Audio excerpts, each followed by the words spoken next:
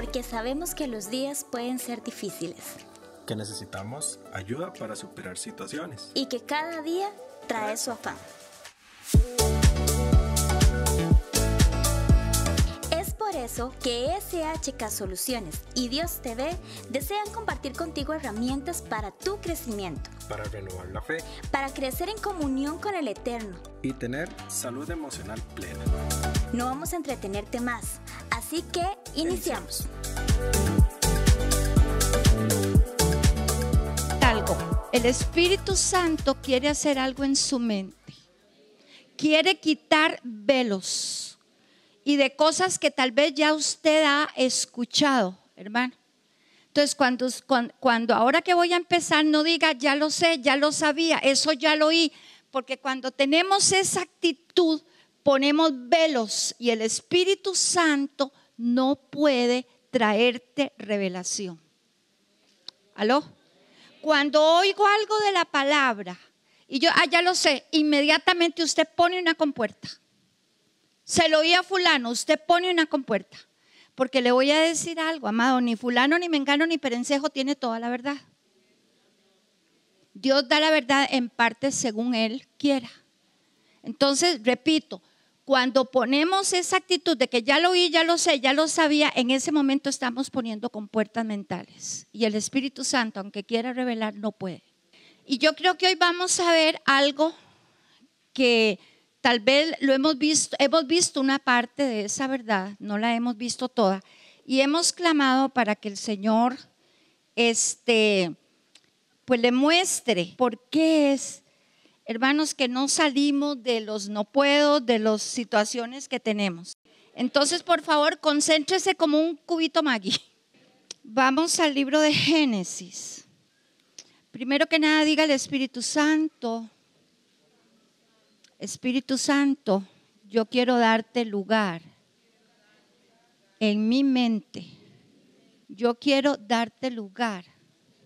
Quiero darte lugar en mi mente no quiero poner con puertas mentales que impidan la revelación a mi vida. La revelación a mi vida. La revelación a mi vida. Ato y ligo todo espíritu de orgullo, de autosuficiencia que quiera venir contra mí en el nombre santo de Cristo Jesús. Amén y amén. Génesis 1. Gloria a Dios. Génesis capítulo 1. Claro, explicar el capítulo 1, usted lo puede leer a la letra, pero no es a la letra, tiene una profundidad muy, muy, muy grande. Hay que bucear ahí. 2.9, perdón, 2.9. Y Jehová, ¿qué dice? Vamos a leerlo todos juntos. 1, 2, 3. Y ser de la tierra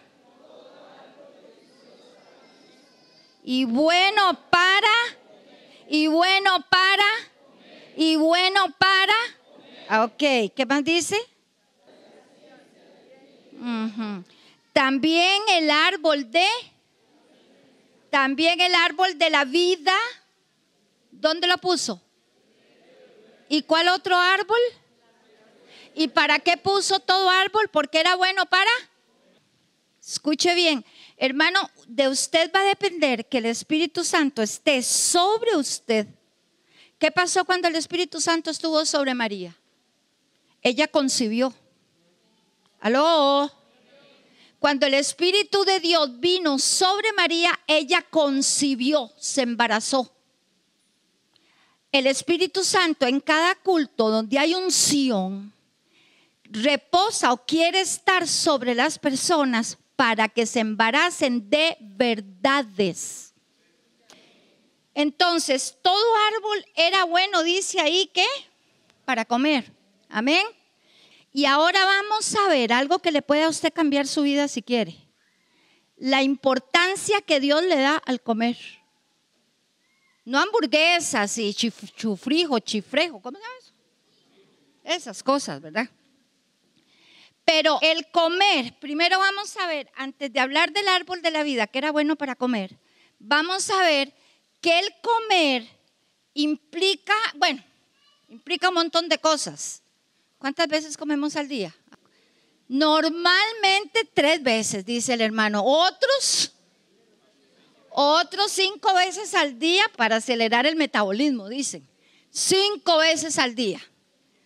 En, las veces que comemos, desayunamos, cenamos, etcétera, etcétera, etcétera, entran en juego por lo menos cinco cosas sencillas.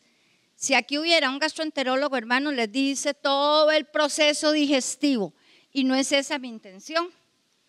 Por lo menos, ¿qué hacemos con los alimentos? Ya ustedes sirvieron el plato de arroz de chifrijo.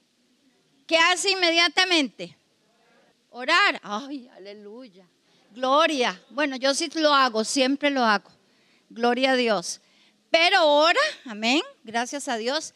¿Y qué hace? Se lo lleva a las orejas. Se llevan a la boca el alimento. ¿Ok? Cuando llega a la boca, ¿qué sucede ahí? Usted siente el sabor de lo que está comiendo, ¿no? Hay un sentir el sabor y después ¿qué hace? Si es un pedazo de carne, lo mastica, ¿ve? Aleluya. Lo masticamos, lo tragamos, lo ingerimos. Tenga en cuenta este proceso. Lleva a la boca el alimento, siente el sabor, si tiene mucha sal, si no, si se quemó, si no se quemó, se mastica, se ingiere, lo traga, ya en el estómago se digiere y ya por digerido el alimento pasa a ser parte de mí. Llega ya a ser parte de uno, ya por ingerido, masticado, ingerido, tragado, digerido, eso llega a ser parte de mí. Ya entendemos todos los que es comer, ¿verdad? Ok, no comer es que no me llevo la, la comida a la boca, no siento nada porque no estoy comiendo, no trago porque no estoy comiendo, no digiero y nada de eso llega a ser parte de mí. Póngalo bien aquí, téngalo bien clarito ahí en su preciosísima cabeza. Ok vemos que Dios le presenta a Adán, Dios le presenta, según Génesis, ¿qué? Génesis que acabamos de ver, el árbol de la vida. ¿Para qué se lo presentó? Dice y puso el árbol de la vida que era y en el centro del huerto. ¿Y qué más? Dice. Dios pone el árbol de la vida para que el hombre Adán que comiera, diga, comiera, lo sintiera en la boca, tragara, digiriera. Y ahí puse que al digerirlo llega a ser parte de qué? De nosotros. El alimento llega a ser parte de nosotros. Tiene todo, todo un proceso ahí, llega a los intestinos y ahí convertido en sangre nos nutre. Entonces, del árbol de la vida, escuche bien, escuche bien, Dios lo pone para que el hombre coma, para que el hombre coma. El árbol de la vida la gloria de Dios. Entonces, ¿qué sucedía si el hombre comía de ese árbol? Iba a recibir la vida de Dios iba a recibir la gloria de Dios, iba a digerir, iba a tragar, iba a comer y la gloria de Dios iba a ser parte de él. Ok, estamos hasta ahí. Pero ¿qué sucede? ¿Qué es lo que está aconteciendo hoy? Se está comiendo del árbol de la ciencia del bien y del mal. Mitad bueno, mitad pagano. ¿Aló? No le esto es otro, esto es otra verdad interesantísima, pero no vamos a entrar en eso hoy. Pero es muy extraño que el bien y el mal estén en un solo árbol. ¿No le parece a usted? Pues hay mucha gente en la iglesia del Señor que camina así. Mitad buenos, mitad paganos. Cantan y alaban y todo, pero donde nadie los ve, son peor que Barrabás, Judas y Pilato juntos viven comiendo de este árbol. Entonces, el árbol, ¿qué sucede con el alimento que como? Lo mastico, ¿qué más? Lo trago, ¿qué más? Lo ingiero, lo digiero y forma parte de mí. Entonces, quienes se alimentan de este árbol, pues son... Ok, Dios le dijo al hombre que podía comer de todos. Amén. Menos del mezclado. Hermanos amados, hay un problema gigante en la iglesia de hoy en día, no en esta, en todas las iglesias que decimos conocer al Jesús, esta mezcla. Esta mezcla. Y esta mezcla no, por, por causa de que Adán comió de esta mezcla, ¿qué fue lo que pasó? Fue sacado del huerto. ¿Aló? Y Dios puso dos ángeles, dos querubines. Gloria a Dios. Dice en el 3, vamos a ver. Mm, mm, mm, Aleluya. El 24, 3, 24. Como el hombre decide comer, vean qué importante es comer. Como el hombre decide comer de la mezcla, Dios qué hizo? Lo echó. Lo echó del huerto. Pero no solamente lo echó del huerto, ¿Qué más hizo? Puso querubines. Hermanos, un querubín puede ser dos veces las torres gemelas de alto de, lo que, que se cayeron en Nueva York. Son gigantescos, poderosísimos. Y puso dos con espadas de fuego, ¿para qué? Para que el hombre que había comido de la mezcla no se devolviera en esa condición a comer del árbol de la vida. Entonces Dios pone el árbol para que el hombre, el, árbol de la vida, para que el hombre comiera. Porque comemos, ¿cuál es el proceso? Lo llevamos a la boca, masticamos, tragamos, digerimos y eso llega a ser parte de nosotros. ¿De qué te alimentas, hermano? No estoy hablando de arroz y frijoles. ¿De qué nos alimentamos? Porque lo que nos alimentamos llega a ser parte de nosotros. Y hablo si nos alimentamos de chismes, si nos alimentamos de pornografía, si nos alimentamos de otro montón de cosas, llega a ser parte de nosotros. Por eso es que la gente está atada y no puede salir de las ataduras. Amén. Ah, ok, ya vimos lo primero. El primer Adán comió del árbol mezclado, se pierde, Dios lo echa del huerto, pone ángeles para que él no entre a comer del árbol de la vida. Gloria a Dios. Ok. Ahora, veamos en Éxodo, gloria a Dios, Éxodo capítulo 12. Gracias, Eterno. Ok. Israel está cautivo en Egipto. Casi todos sabemos la historia, ¿verdad? En Egipto esclavo fui, sí, sí, oh sí, ¿se acuerdan? La canción, por lo menos. Israel estaba esclavo en Egipto. Fue Egipto es tipo del mundo, de las pasiones, de la idolatría del mundo. ¿Dónde estaba Israel cautivo? En Egipto. Cautivo del faraón que es tipo de Satanás. Amén. Cautivo de faraón que es tipo de Satanás. ¿Dónde estaba Israel cautivo? En Egipto. Dios decide sacarlos. Amén. Dios decide libertarlos. Vean ustedes en Éxodo 12, hermanos amados. Ok, Dios le manda a Israel que que cada familia tomara un cordero. Amén.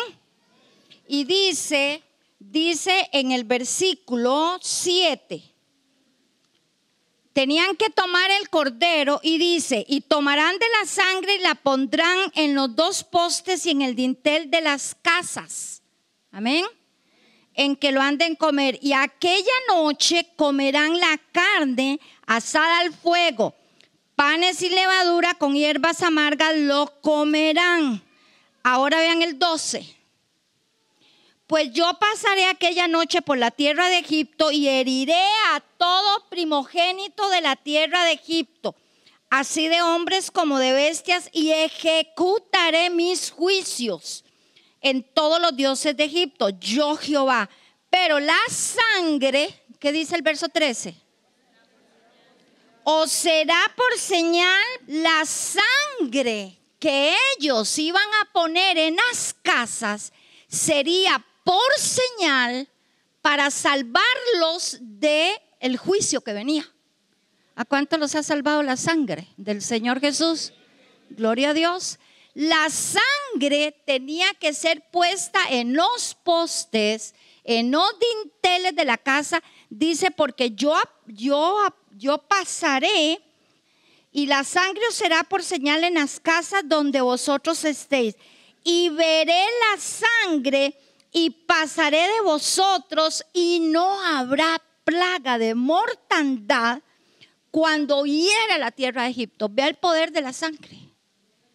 Los iba a librar de la, de la muerte que iba a venir sobre todo Egipto.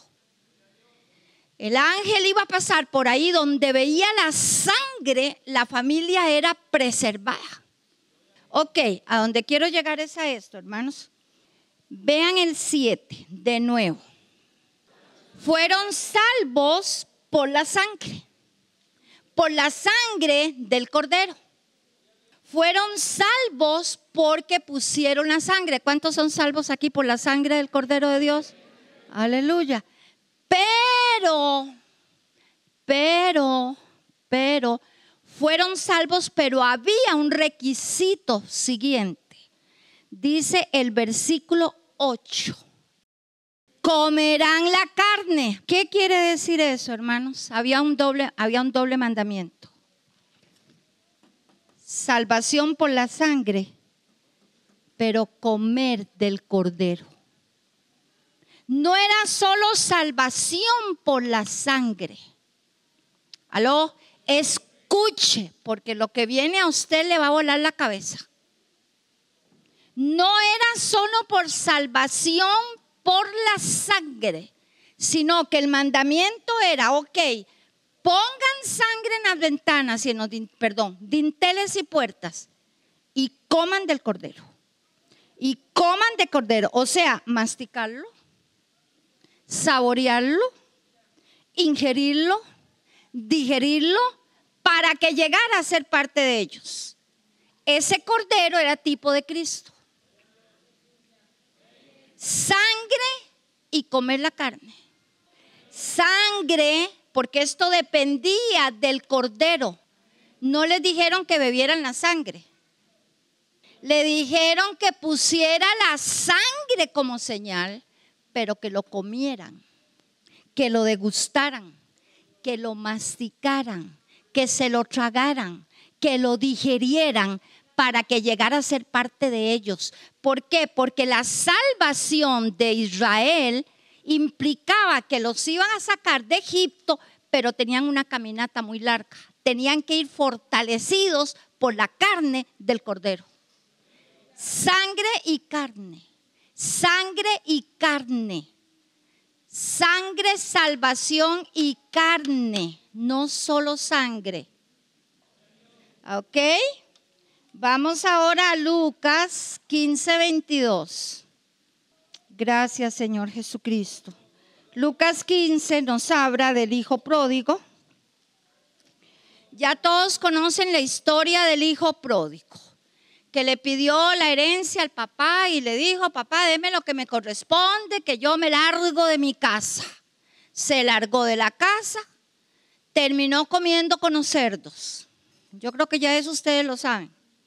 Terminó comiendo con los cerdos, pero un día de tantos dijo, volveré a mi casa, volveré a mi padre, pecado contra el cielo y contra Dios, volveré.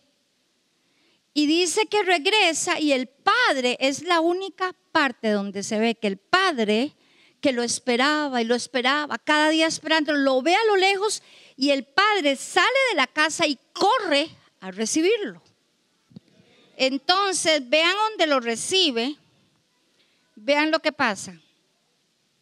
Y el hijo, bueno, el, el 20, hermanos, y levantándose, vino a su padre, y cuando aún estaba lejos, lo vio su padre y fue movido a misericordia, y corrió y se echó sobre su cuello y le besó. Y el hijo le dijo, Padre, he pecado contra el cielo y contra ti, ya no soy digno de ser llamado tu hijo. Pero el padre dijo a los siervos, ojo, ¿qué le dijo el padre a los siervos? Número uno, ¿qué más? Vestidle, ¿qué más? Pónganle anillo, ¿qué más? Pónganle calzado. Quédense en ese versículo. Aleluya. El hijo pródigo se arrepiente, vuelve al Padre. Lavado, vestido, anillo, sandalias, salvación. Salvación. Pero ¿qué dice el versículo que sigue? Traed el becerro gordo. ¿Para qué era? Para que lo comiera. Y el becerro es tipo del Señor Jesucristo. En Éxodo, ¿qué era lo que había que hacer?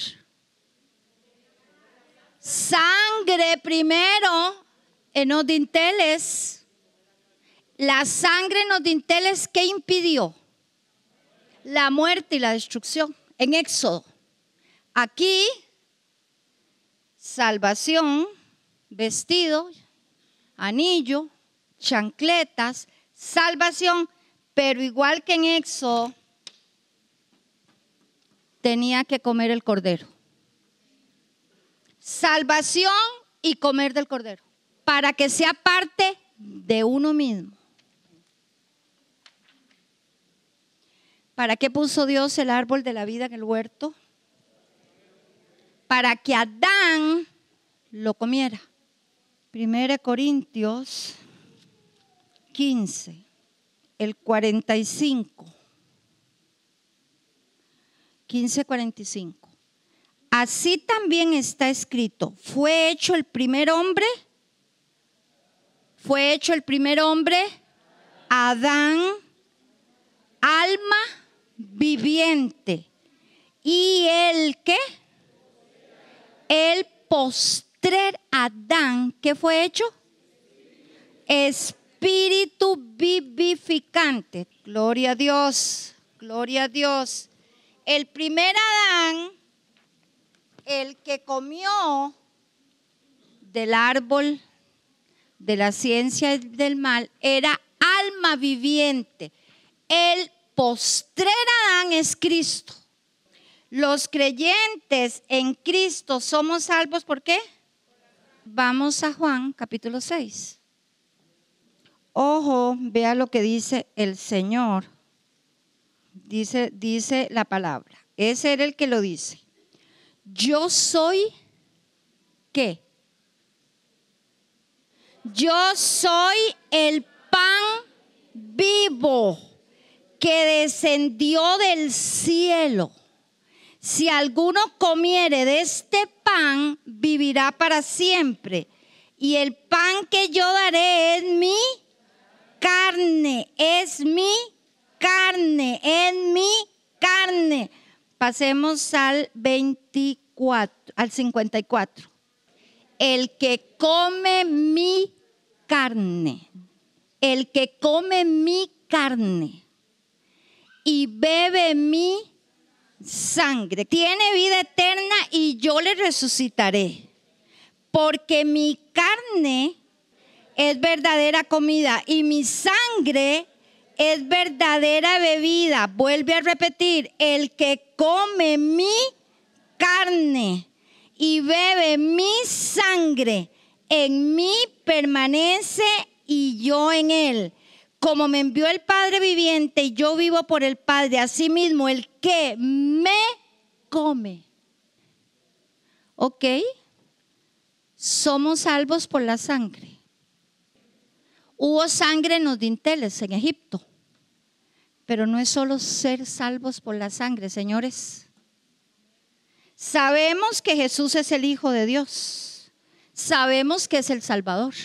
Sabemos que es todopoderoso Sabemos que es el Cordero, pero hermano, si no lo conocemos, pero no lo conocemos como el cordero que hay que comer, como espíritu vivificante.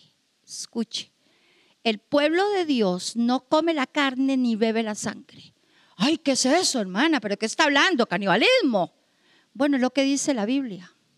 Es la línea que traemos desde Génesis. Esto es para gente que quiere crecer, hermano. El que quiere seguir siendo ritual y religioso nunca va a entender nada. Eh, no es solo la sangre, es comer, dice ahí. Vamos a repetirlo otra vez. Porque hay que comer la carne y beber la sangre. ¿Cómo? ¿Cómo? Desarrollando nuestro espíritu, pero no desarrollamos nuestro espíritu, desarrollamos religión. ¿Qué pasó con el árbol de la vida? ¿Qué quería el Señor? Que Adán lo comiera. Que Adán lo comiera. ¿Lo comió o no? No lo comió. ¿Qué pasó en Éxodo? ¿Cómo fue libre los israelíes? Por la sangre del cordero, ¿dónde? Por la sangre, pero tenían que qué? Que comer la carne. El hijo pródigo fue salvo, vestido, chancletas nuevas, anillo nuevo, pero ¿qué tenía que hacer? ¿Qué mandó a hacer el Padre? Comer el becerro. Ahora Jesús nos salvó y todos lo sabemos. Que por la sangre, por la sangre, por la sangre, por la sangre. Pero no sabemos comer su carne ni beber su sangre. Hemos dejado el proceso a la mitad. Por eso es tan aburrido ser evangélico. Aló. Por eso a usted le aburre venir al culto. Por eso a usted le aburre ser santo. Ay, no, qué santo, hay que ponerle emoción a la relación. Toqueteo por aquí, toqueteo por allá. Por eso es aburrido ser evangélico. Yo no soy evangélica, yo soy cristiana, que es otra cosa muy diferente. Le estoy probando con la Biblia desde Génesis había que pasar. Había, es un proceso. Hermano, cuando usted recibió a Cristo como su Salvador, si en realidad nació de nuevo, porque no es simplemente decir, recibo a Cristo como mi Señor y Salvador y sigo una vida común y corriente. No, tiene que haber un nacimiento de nuevo. ¿Aló? Pero es un proceso de avance en Dios porque Él quiere que volvamos a comer del árbol de la vida. Ya le voy a decir quién es el árbol de la vida. Entonces, hermanos, salvación y comer la carne. Si no coméis la carne del Hijo del Hombre, es vital que comamos la carne como le he demostrado desde Génesis hasta aquí. Si dice Jesús, de cierto digo, si no coméis la carne del Hijo del Hombre y bebéis su sangre, no tenéis vida en vosotros.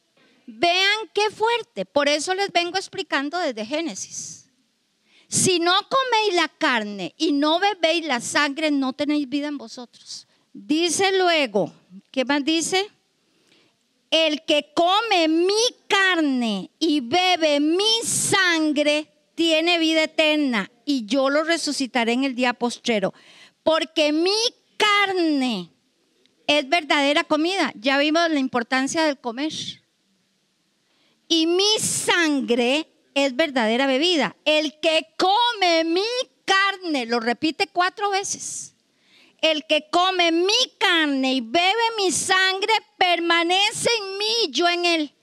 Por eso es que no hay permanencia, hermanos. Un día estamos, un día somos fieles, otro día somos peores que Judas, un día somos, queremos ir al culto, mañana si hay partido no queremos ir, porque no permanecemos. Esto que le estoy diciendo es revelación. Yo no sé cómo usted la está recibiendo.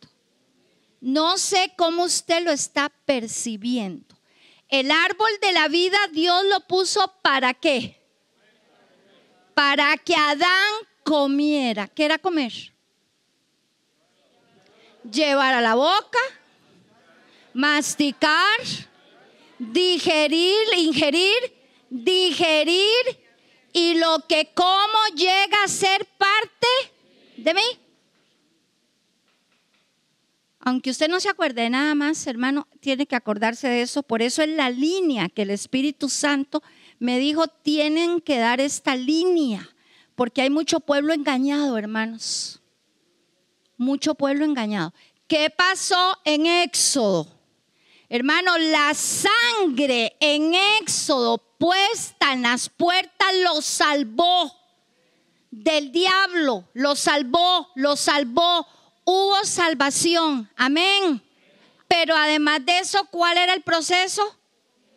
Comer la carne del cordero. El hijo pródigo, ¿qué pasó con él? Fue vestido, ¿qué más?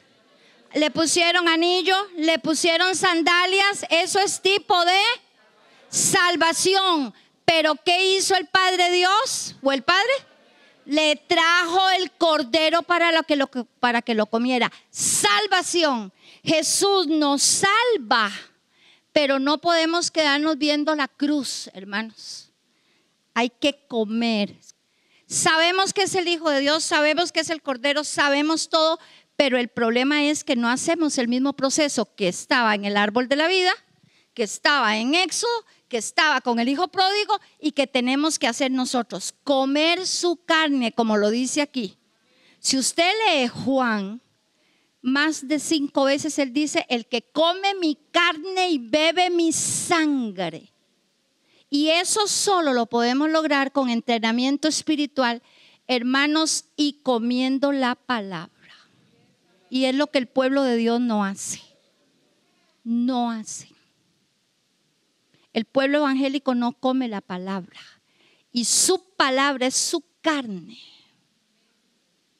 Pero como no nos interesa, entonces estamos en un proceso en que solamente estamos viendo la cruz, la cruz, la cruz, la sangre, la sangre, la sangre. Importante, por supuesto, pero no es solo salvación, hay que comer la carne. Porque solo si bebemos su sangre y comemos su carne, permaneceremos en Él. Y ahora le voy a decir otra cosita. Aleluya. Eh, 1 Corintios 15, 45. Usted y yo tenemos que desarrollar nuestro espíritu. Escuche, hermano, usted no puede, bueno, si usted quiere, seguir siendo un oyente pasivo de prédicas, un oyente pasivo de conferencias. Usted puede seguirlo siendo el resto de su vida. Viendo la cruz, la cruz, aleluya. Pero era la cruz, la sangre que nos hace salvos y comer el cordero. El meterme en la palabra, el recibir las verdades. Porque ¿qué era comer? Uno, llevar a la boca, masticar, ingerir, digerir, para que sea parte de mí. Por eso Jesús dice, coman mi carne y beban mi sangre porque yo permaneceré en ellos y ellos en mí. Esto no es religión evangélica, hermanos. Esto no es religión. La religión, hoy soy, mañana no soy. Hoy me siento muy fiel, mañana estoy ah, ah, este, haciendo contrataciones de traición. No, no, no, no. Hoy quiero ir a la iglesia, mañana no. No es eso.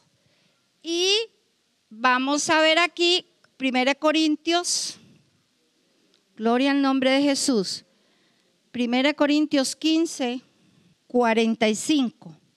Así también está escrito, fue hecho el primer hombre que Adán, alma viviente, espíritu vivificante. El primer Adán. Hubo un primer Adán y un postrero, no un segundo. Un primero y un último, no van a haber más Adanes. Cristo. Cristo era el árbol de la vida, hermanos. El primer Adán fue alma viviente. El postrer y el último, porque no va a haber otro, Cristo es espíritu vivificante. Ya no es solo el Salvador, es espíritu vivificante. lo conocemos como el Salvador, le pedimos como el proveedor, le rogamos por esto y por el otro, pero no comemos su carne ni bebemos su sangre, entonces no puede vivificarnos, porque ya dijimos que el comer, ¿qué era? ¿Otra vez? Llevar a la boca, masticar, tragar, digerir y lo que digiero forma parte de mí. Si yo como la carne del Hijo de Dios y bebo su sangre, voy a formar parte de Él y Él de mí. Y, y si usted se lee Juan 15, del 29 en adelante, Jesús demanda. Jesús demanda el comer su carne y beber su, su sangre salvos por la sangre en Éxodo, pero tenían que comer del cordero. No era solo salvación, era comer sangre y comer. Comer el cordero, pero ¿cómo hago? Me meto en la palabra, los evangelios, y estoy con mis hijos y con mi esposa, y, en, y no solamente hermanos, porque eso es que, ay, es que necesitamos más tiempo familiar y es ir a pasear vaya, pase y haga lo que quiera, pero lo que va a unir su familia y lo que lo va a salvar de todo lo que está pasando ahora es comer al cordero. La alabanza y la adoración será diferente si cada músico y cantor y danzor y predicador y líder y pastores comieran de la carne del cordero.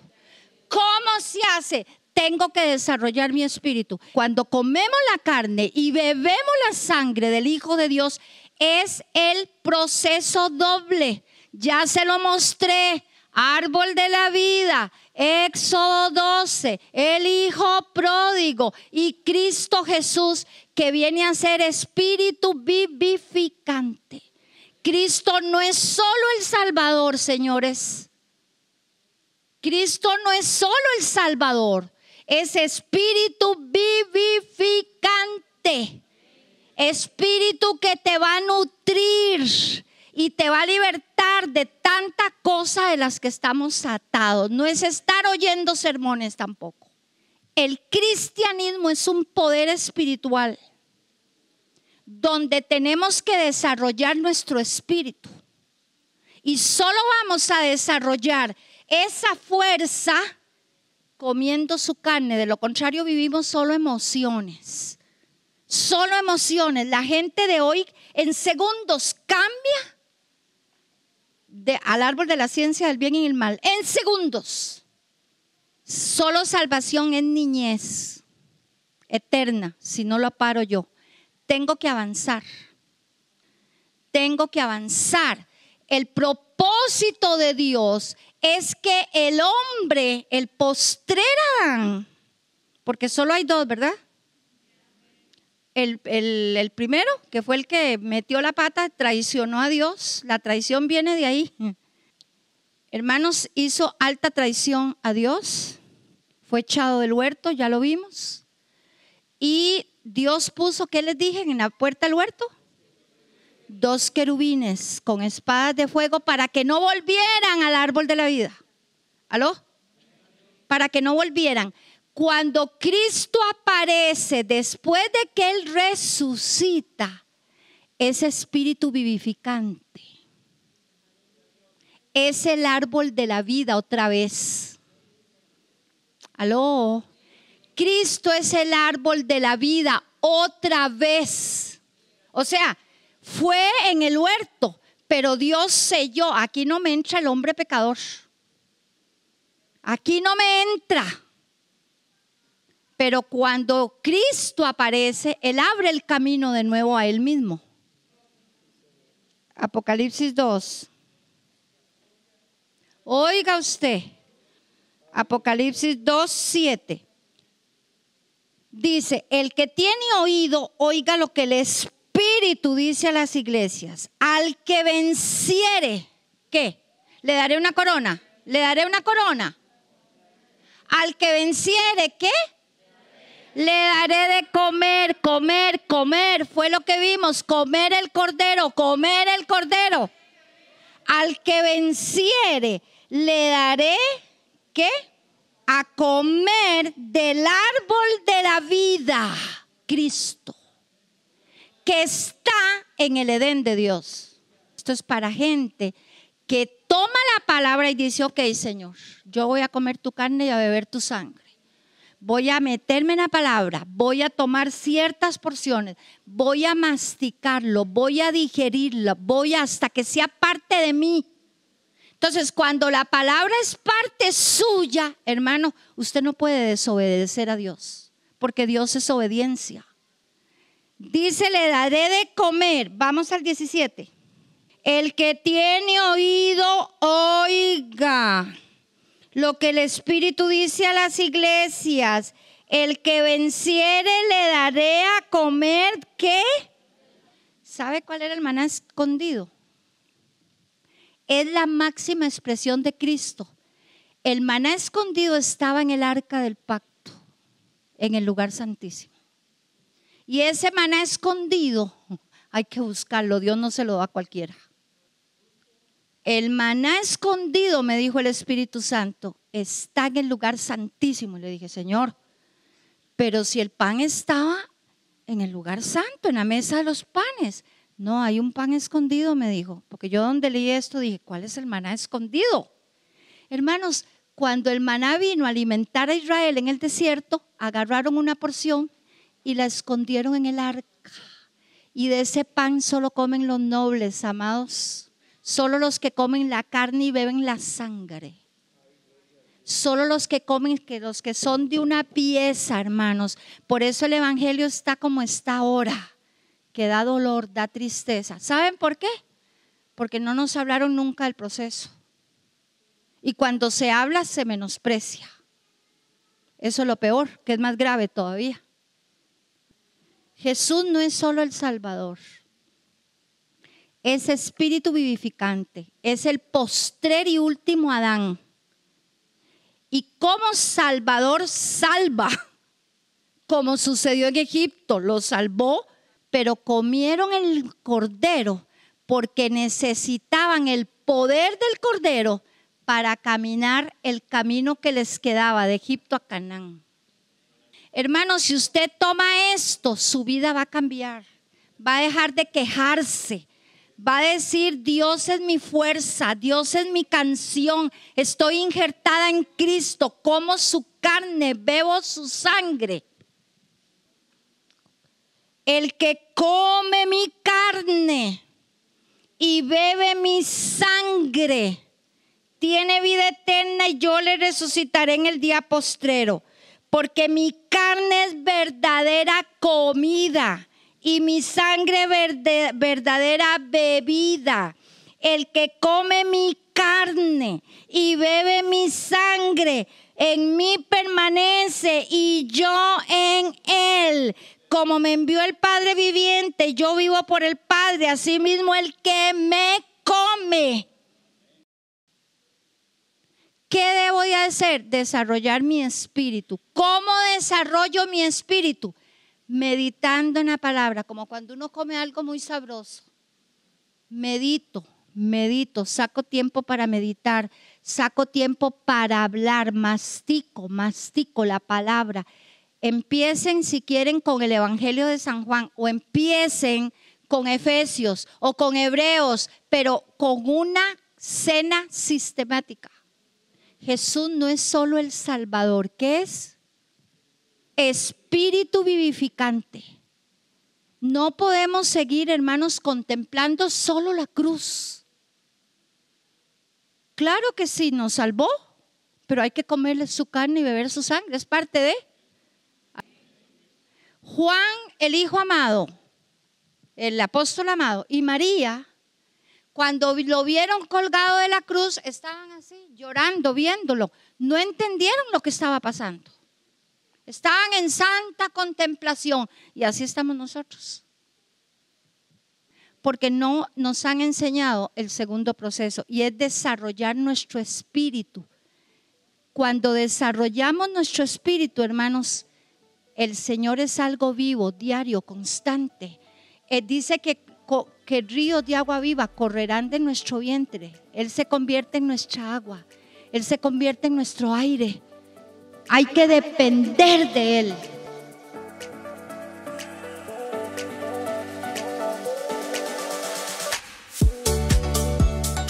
Gracias por compartir este tiempo con nosotros. Los esperamos en una próxima ocasión.